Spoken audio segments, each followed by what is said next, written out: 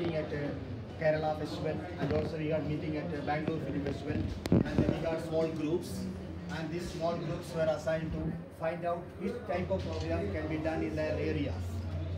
And uh, unfortunately we couldn't do much except we could do one national seminar in uh, Kerala in collaboration with FIPRESCI. Mr. M. K. Raghavendra was uh, there to inaugurate the FIPRESCI collaborated national seminar and the seminar was quite a grand success. Mr. G. P. Ramachandran was also participating in as a FIPRESCI member and it is a, a very good thing that all the national award film critics participated in that particular national seminar.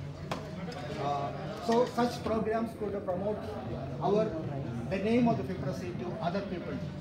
Uh, the media and other uh, people will be knowing what FIPRESCI is and what they are doing. Of course, we are writing, but apart from that, we should collaborate. with other people. That's what I uh, need to say.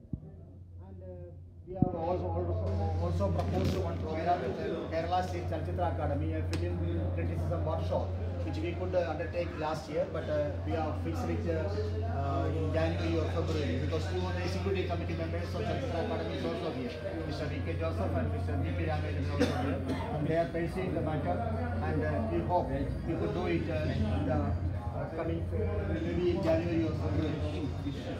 So anyway, the plan of action, everything is there. We shall discuss it one by one and let us have a, a fruitful general body meeting. Thank you.